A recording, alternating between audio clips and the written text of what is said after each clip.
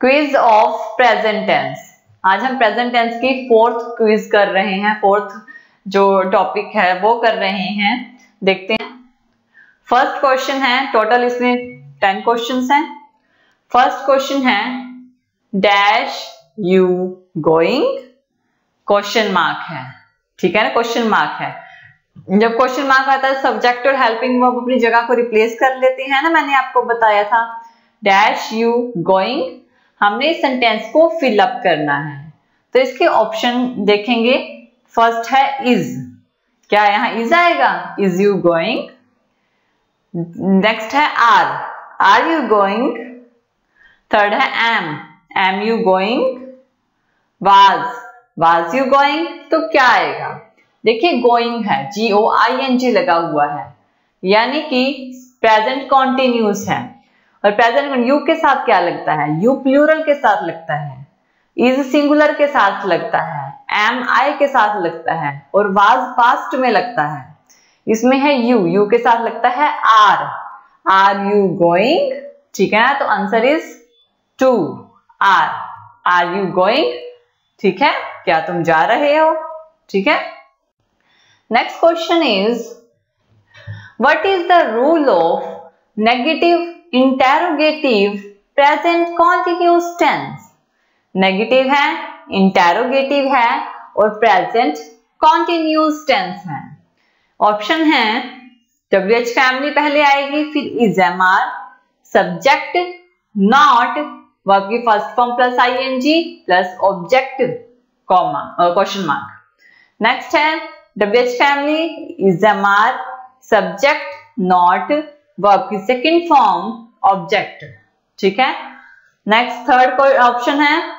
W H family का word अगर कोई है was were subject not verb की first form plus I N G plus object and fourth option है W H family plus is am are plus subject plus not verb की first form plus object तो देखिए इसका rule negative यानी not होगा। Interrogative यानी subject और helping verb ने अपनी जगह को रिप्लेस कर रखा होगा और क्वेश्चन मार्क वाला सेंटेंस होगा। प्रेजेंट कंटिन्यूस है, यानी वर्ब की फ़र्स्ट फॉर्म के साथ आईएनजी होगा। तो ऑप्शन आंसर क्या है?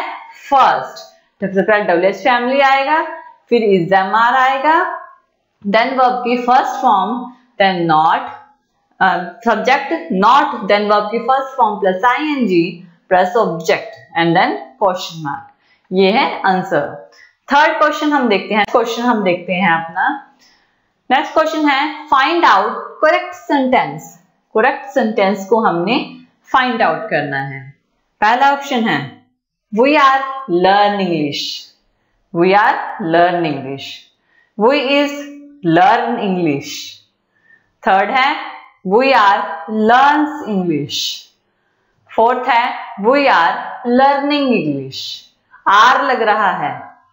ठीक है? तो वो आपकी फ़र्स्ट फॉर्म के साथ आईएनजी लगेगा। तो लर्निंग आएगा। ठीक है? वी आर लर्निंग इंग्लिश तो आंसर क्या है? Fourth we are learning English हम इंग्लिश याद कर रहे हैं, पढ़ रहे हैं, जो भी है। ठीक है? सीख रहे हैं। नेक्स्ट है। नेक्स्ट क्वेश्चन है वेयर वी यूज़ हैव यानी कि हम हैव का यूज़ कहाँ करते हैं? ठीक है? फ़र्स्ट ऑप्शन है आई यू वी दे क्या हम आई यू वी दे के साथ हैव का यूज़ करते हैं? नेक्स्ट है he you we they he you we they के साथ हम हैव का यूज़ करते हैं. थर्ड है he she it name he she it name के साथ हम हैव का यूज़ करते हैं. नेक्स्ट है दे और ही क्या दे और ही के साथ हम हैव का यूज़ करते हैं? तो हैव का यूज़ हम किसके साथ करते हैं? हैव का यूज़ हम करते हैं आई यू वी दे ठीक है? अब देखिए नेक्स्ट ऑप्शन सेकंड ऑप्शन है ही यू ही के साथ हम हैज़ का यूज़ करते हैं। यू वी दे के साथ हैव का यूज़ करते हैं, लेकिन ही के साथ तो हैज़ का यूज़ होता है ना? इसलिए वो रॉन्ग है। आई यू वी दे सबके साथ हम हैव का यूज़ करते हैं। तो answer is one I you we they के साथ हम हैव का यूज़ करते हैं।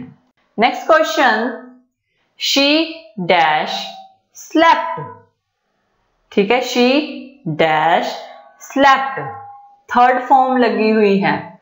ठीक है ना? कोई लड़की है। ठीक है? शी डैश स्लेप्ट वो सो चुकी है। ठीक है? शी डैश स्लेप्ट इसको कंप्लीट करना है। क्या लगेगा? हैज़ लगेगा।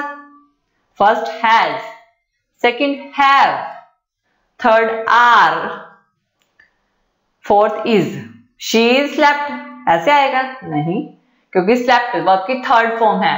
थर्ड फॉर्म है तो हैज़ और हैव का ही यूज़ होगा। अब इसमें हैज़ का यूज़ होगा या हैव का यूज़ होगा? ठीक है ना? जब देखिए ही शी इट नेम के साथ हम हैज़ का यूज़ करते हैं। शी हैज़ स्लेप्ट वो सो गई है। शी हैज़ स्लेप्ट तो आंसर इज़ वन हैज़ वो सो चुकी है या सो गई है। She has slept next question where वो यूज़ हैज़ एंड हैव हम हैज़ और हैव का यूज़ कहाँ करते हैं? फ़र्स्ट है, क्या नहीं चुका है, चुके है, चुकी है? नेक्स्ट है, चुका है, चुके हैं, चुकी है। रहा है और चुकी है के साथ? नेक्स्ट है फोर्थ रहा है, रहे हैं, रही है।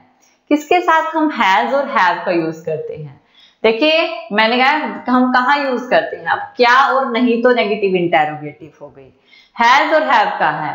हैज़ और हैव जब चुका है, चुके हैं, चुकी है आए, जैसे टेंस के लास्ट में, तब हम हैज़ और हैव का यूज़ करते हैं। तो आंसर इज़ टू या फिर ई है, आ है, या है, अगर ये आए ना, तब भी हम इसका हैज़ और हैव का यूज़ करते हैं। हैज़ और हैव कंडीशन पे होता है। हैव का यूज़ हम, ठीक है?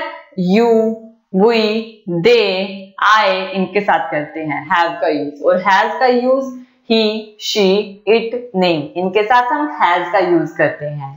Next question is we have dash to America have complete करना है। हैव के साथ क्या लगता है? हैव के साथ वर्ब की थर्ड फॉर्म लगती है। ठीक है ना? यानी we have go to America first form we have goes to America नहीं, बिल्कुल भी नहीं। We have going to America no we have gone to America go went gone yes answer is fourth gone we have gone to America ठीक है ना? मैं मैं America हम अमेरिका जा चुके हैं। We have gone to America तो गॉन आएगा। नेक्स्ट क्वेश्चन है। Find out, next question, which subject we use with has. हम हैज़ के साथ कौन सा सब्जेक्ट लगाते हैं? यानी कौन सा सब्जेक्ट के साथ हम हैज़ का यूज़ करते हैं ये भी। तो आई यू विद के साथ। सेकंड है। ही यू विद के साथ. थर्ड है ही शी इट नेम के साथ. फोर्थ है दे और ही के साथ. हम हैज़ का यूज़ किसके साथ करते हैं? हैज़ हैज़ का यूज़ हम ही शी इट और नेम के साथ करते हैं. He has she has it has या कोई name Ram has Sita has ठीक है? तो ऑप्शन आंसर है थ्री ही शी इट और नेम के साथ हम हैज़ का यूज़ करते हैं। नेक्स्ट है question find the rule of present perfect tense हमने प्रेजेंट परफेक्ट टेंस का रूल फाइंड आउट करना है।